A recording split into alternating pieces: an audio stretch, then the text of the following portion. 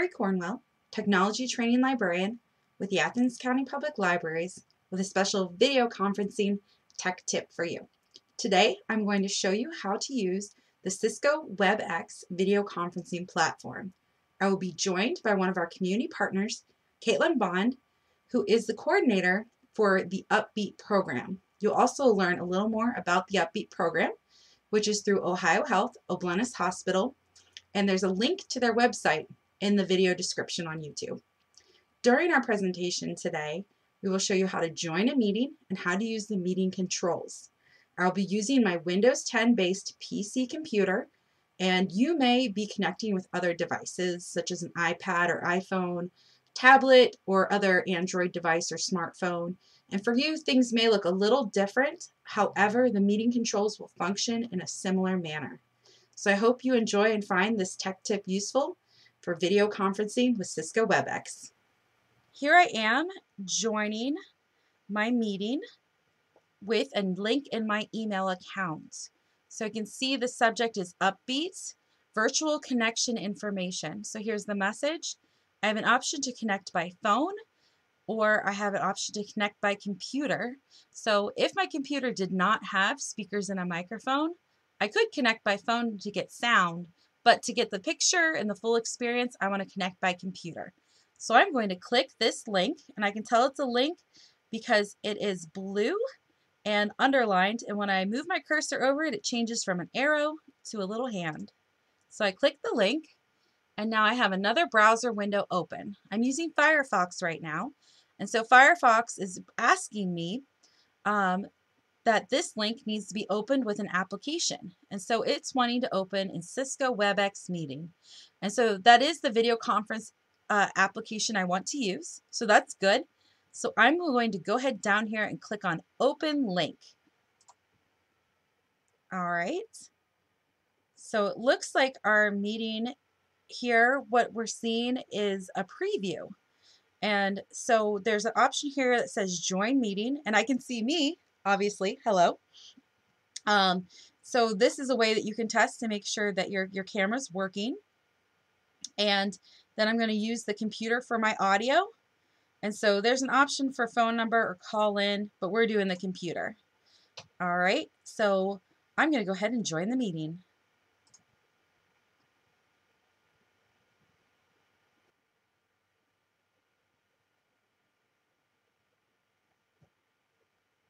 Caitlin.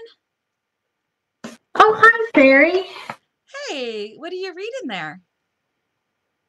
You caught me at the right time. I was reading our Upbeat newsletter, which I just received in the mail today. And I wanted to see if there was anything that I was interested in participating in. So, I actually haven't heard of Upbeat before. I'm curious, what does it stand for? And yeah, how can I learn more about the Upbeat program? So Upbeat was founded in 1996 by two social workers, Peggy Irwin and Alice Hawthorne, who found that through their work, there was a lack of resources for older adults in our community and region to be active and engaged. Upbeat's mission is to provide opportunities to remain active and beat or be educated and active together is what Upbeat stands for. Upbeat is a free program sponsored by Ohio Health O'Bleness Hospital and is open to anyone 55 years or older with no other um, requirements to become a member. And Sarie, the great thing about it is, is that once you are a member, you will receive the monthly newsletter by mail or email, whichever you choose, whatever your preference is. And then you'll be able to choose what you would like to participate in. And so we have a variety of interest areas that include a book club, a history group, singing group, exercise class, and health and wellness education sessions. Okay, so this sounds like a great way to meet friends, connect with others. So if somebody's interested in getting involved with Upbeat, um, how do they get started? You're right, Sarie. Upbeat is a place where friends bring friends and where you can also make friends. We welcome everybody.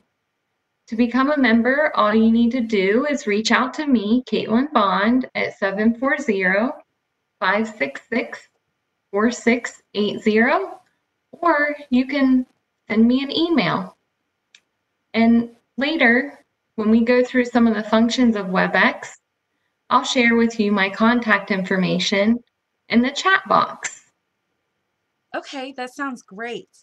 But wait, uh, how are you holding your programs right now if you're not meeting in person? So currently we're meeting virtually, which means you can either connect us to us by computer or by phone. If you're connecting by computer, you'll meet with us using the Cisco WebEx platform, which you just downloaded and connected with me by computer just right now. One can also join us by phone if they do not have a computer or a device that will allow them to connect with audio and camera. And I'm just curious, Sarie, is this your first time of connecting with us using WebEx? Yes. I'm so happy you connected with us and know how doing something new can be difficult. So you did such a great job. Thank you. Yes, this is my, my first time connecting. I'm not sure I totally feel comfortable. Um, there's a lot of different pictures on my screen. If I move my mouse, there's these buttons that show up. So can you tell me a little bit more about what I'm seeing on my screen? I'm happy to, and I hope that it'll make you feel more comfortable for any time that you connect with us again in the future. So let's just start out by looking at the functions across the bottom of your screen. They probably look a little bit scary, but I'm going to walk you through those. So if you move your mouse, you should see a line of circle icons that come up at the bottom of your screen. These buttons will allow you to start or stop your video, mute or unmute your microphone, access the chat feature, and leave the program. So let's just start with how to mute and unmute yourself. If you roll your mouse around, you should see a circle come up with a microphone in it that looks like it has an X over top of it. Do you see that? Yes, I do. And I hovered my mouse over it and it says mute. Okay, so that is, you're in the right place. If you click on that, that will mute you so that I cannot hear you. You want to give it a try? Okay, I'll try it. All right, so Caitlin should not be able to hear me. So Caitlin, what's Tell me what 2 plus 2 is. so I'm asking her a question. She has no idea. So anyway, um, I go back here, it looks like, and says unmute, so I'm going to click here. Okay. There you are. I can hear you now. I asked you a question. I don't know if you heard it or not. No, I didn't. Okay. I couldn't hear you. That's good. Then I successfully muted myself. Okay, so now you're unmuted. So all you had to do was click on that button again, and that made it so that I could hear you again. So now let's move on to making your camera be turned off and on. So if you want to stop your video, because right now I can see you. So if you want to stop your video, the second icon over in the circle it looks like there's a camera there with a line through it. If you hover over top of that and click on it, what do you see? I'm doing it. I saw myself disappear, actually. okay. So now your camera is off. Now, if you click that button again, And I see myself reappearing down here in the bottom right. So there's a little tiny picture. Right there you are. That's great. That's wonderful. Now we can see each other. So if you ever need to turn your camera on or off, now you know how to do that. Great. Do you feel pretty comfortable with those two yes. functions? Okay. Now we're going to move on to if you want to use the chat function during a program, maybe you want to ask a question, um, or maybe you want to have a conversation with somebody else in the program. So what you're going to do is you should, um, if you move your mouse around, you should see those icons in a circle again, and you're going to hover over the circle with the comic bubble in it. And when you do that, you should be able to click on that and the chat box will show up on the right side of your screen. Oh. Do you see the chat box? I do, yes. So in the chat box, you should see the word to, and there's a box there that you can click on, and you can select who you want to send the message to. So you can either send the message to everyone, or you can send a private message just to one individual in the program. So I'm going to send you an, a message privately, Sarie, and this message is going to tell you how you can become an Upbeat member. So I'm going to send that to you. Oh, I see it appeared already. Great. Okay. Now I want to I want to try to see if you can send me a message back. Okay. Yeah, this is great. I see your phone number and then there's your email address. So that's good. Um, so if anybody wants to get involved. And so here I'm going to use that drop down that's right. If I leave it on everyone, it'll send it to everyone. So I'm going to pick you and I'm going to write, hello, I got your message. Oh. Great. I, I just saw it pop up. Yep.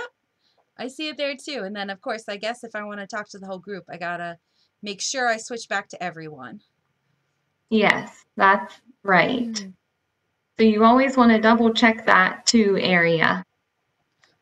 Okay. Now, now that you know how to use the chat function, we can move on to one last function that I want to tell you about. We won't actually do this function right now, um, but down at the bottom, if you move your mouse, those icons show up in circles, and you should see an icon with an, it's red and it has an X in it. If you float your mouse over top of that, it should say end or leave meeting. Now, we don't want to do that right yet because we aren't all the way done. But just later, we'll talk a little bit more about that when we leave the meeting. Okay. and the last icon that I want to teach you about is the way that you can change the view that you see on your screen. And so what I want you to do is I want you to take your mouse and float it around. And up on the right side of the upper part of your screen, you should see circles. If you float over top of, of the most left circle, you should see three options come up, and that will allow you to view different screens. So I'm going to share a PowerPoint presentation with you because a lot of the programs that we have, we, ha we share PowerPoint presentations. And so I just want you to be able to see how it would look like on your screen. I'm going to share my PowerPoint with you. Okay. And then, and then if you want to go through those icons at the top right hand corner of your screen. Okay, yeah, the first one I'm in says a video strip view. And then I can change it to something called side-by-side -side view. Okay, and then I can see you on the side now. Uh, and then floating panel view. Ooh. Oh, okay, so it kind of took up my whole screen here. And it looks like I can see the participant list and the chat box still. So I actually could click on this little X and close those so I can see more of the screen. And then, of course, I still see you in Pickle, but I can grab that move that around so I can be out of my way. Okay, that's good because I know some of your uh, programs probably use different kinds of presentations, right? Yes. Oh. Yeah. Okay, and So then I see how to get back out of here. Okay. So I can, um, oh, I just changed it to you. Okay, so when you press these buttons, there are a lot of different things that can happen. So it looks like you can press different ones. And so if you don't have the view you want, it looks like you can click again. yeah, so I always say just try to click through all of them and see which one you prefer the best. And don't be afraid to click back and forth. Okay, great. So now I'm going to stop sharing the PowerPoint. That may change your view a little bit. all right. Now I can see you and Mm. Pickle. Yes, and so now you can go up to those same buttons and you can click through them now too, just to see what it looks like when I'm on the screen Oh, without yeah. a presentation. I do that. It definitely looks different, but I think that's because I closed the chat box, which if I remember how to do that, I can open it. Okay, and it looks very similar to what I saw before. Wonderful. So that is all the functions that I want to share with you today. Do you have any questions? You feel comfortable? Yeah, yeah, I feel really good. Uh, you did a great job explaining the meeting controls. Thank you. Yeah, and I feel like uh, I'll be able to help people now that I know how to use it when I do my technology training appointments, um, because that's something that that I do. So, yeah, if there are people watching who who need help connecting or want to practice, um, I imagine they of course can reach out to Caitlin now that we have her contact information. But if you want to set up a technology training appointment with the public library with me, Sarie, uh, you can just contact any of the Athens County Public Library branches. You can call or stop in if they're open um, and just ask for a technology training appointment. Well, I think that wraps up our meeting today, Sarie. Do you remember how to leave the meeting? Um, I think so, but go ahead and remind me. Okay, if you look, if you roll your mouse around, you should see on the bottom of your screen the icons and circles come up. Yep. You're going to look for the red circle with the X in it. Okay. It should say end or leave meeting when you roll over top of it, and you'll click that, and that will end our meeting. All right. Well, it says leave meeting, so I'm going to go ahead and click it. So thanks so much and good to see you. Thank you, Sarie. Have a good day. You too. All right. Bye, Caitlin. Bye. Oh, it's asking me if, do you want to leave the meeting? And I want to say yes.